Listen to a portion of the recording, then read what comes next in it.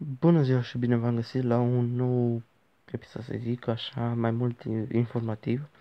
Dacă doriți să primiți promovare, trebuie să intrați în comentarii și să scrieți hashtag promovare. Acest promovare vor fi 10 câștigători. Deci puteți să fiți, trebuie să fiți printre acest um, în comentarii, să aveți hashtag promovare sau promo și eu o să vă extrag la o tombolă.